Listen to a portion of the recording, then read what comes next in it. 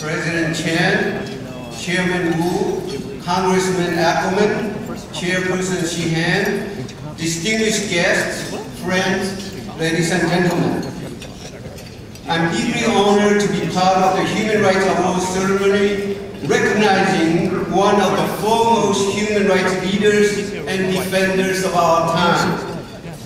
I'm especially delighted because the honoree is an alumnus of mine, both at the high school and at the law school in Taiwan.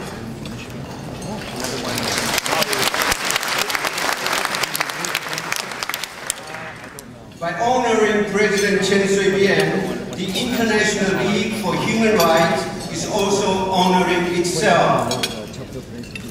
The transformation of Taiwan from an authoritarian state under martial law for 38 consecutive years from 1949 to 1987 to a free democratic country dedicated to the defense and fulfillment of human rights is a remarkable part of human history in struggling for human dignity, democracy, and human rights.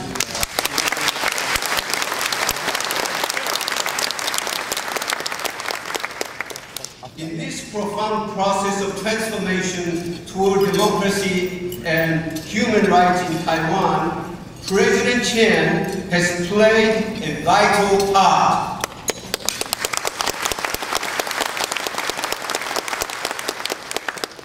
At age, at age 30, he courageously joined the legal team defending the Taiwanese human rights activists who were persecuted and put under military trials by the Kuomintang regime in 1980 in the Formosa incident, also known as the Kaohsiung incident.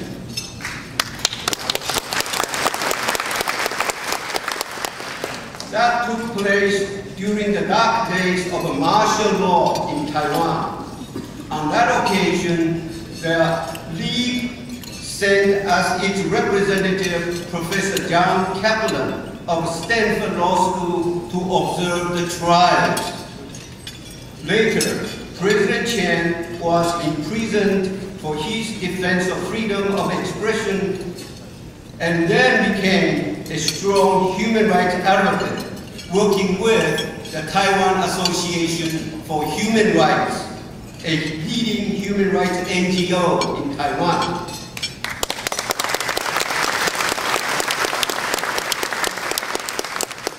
His dedication to the cause of human rights continued as a city councilman, a legislator, and as mayor of Taipei. As the candidate of the Democratic Progressive Party, generally known as DPP, President Chen became president of Taiwan in May 2000.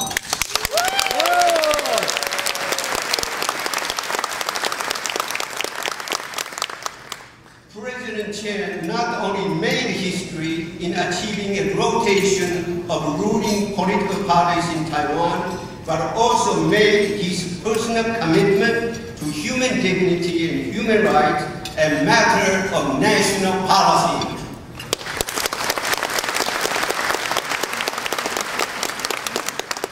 Aiming to build a human rights state for Taiwan, President Chen has sought to implement international human rights standards domestically in Taiwan to establish a national human rights commission with independent authority and to facilitate interactions of Taiwanese and international human rights NGOs.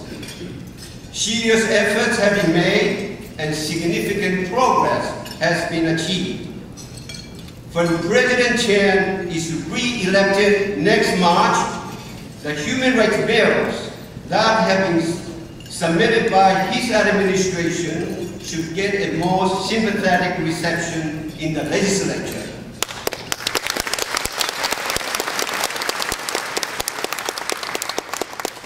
Meanwhile, we can also look forward to the birth of a new Taiwanese constitution through holding a national plebiscite.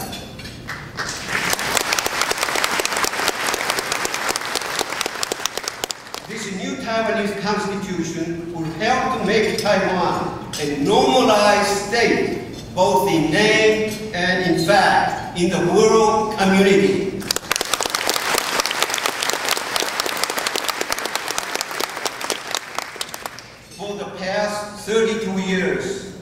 Taiwan has been kept outside the United Nations and its human rights system, there is a great deal of catch up to do for the government and people of Taiwan.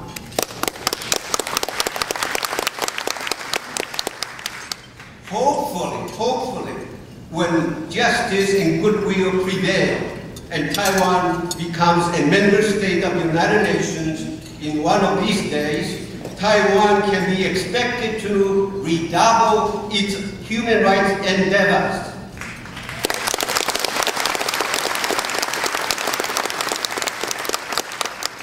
and to become a beacon of democracy, human rights, and hope for all humankind.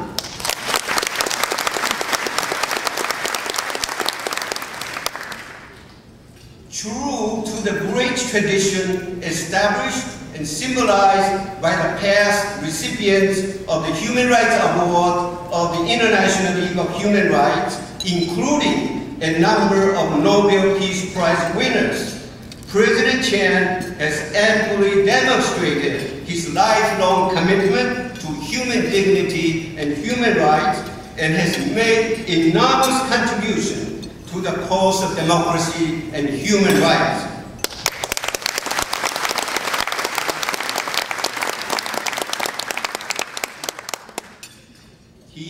He is a pride not only for Taiwan, but also for the world.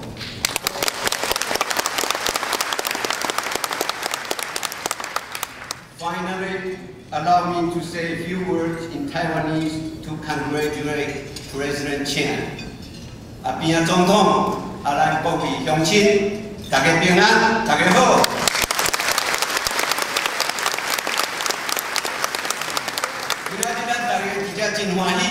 首先讲恭喜咱阿扁啊总统得到这世界金冠奖、国际金冠奖的一至至悬的这个荣誉。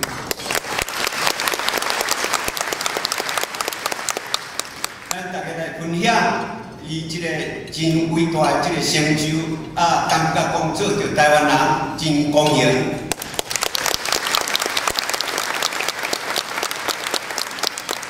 较早咱迄落即个金管会即个会长，金管人民会长 Scott Horton 先生讲，即台湾民主金管方面的进步，当然是讲总统本身啊，甲咱台湾全民海内外台湾人共同拍拼的成果啊。